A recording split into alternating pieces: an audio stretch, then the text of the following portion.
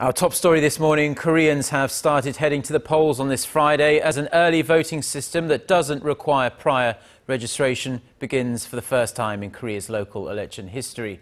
Those unable to cast their ballot on election day, June 4th, can head to any of the 3,500 polling stations open nationwide from 6 a.m., which is now, until 6 p.m.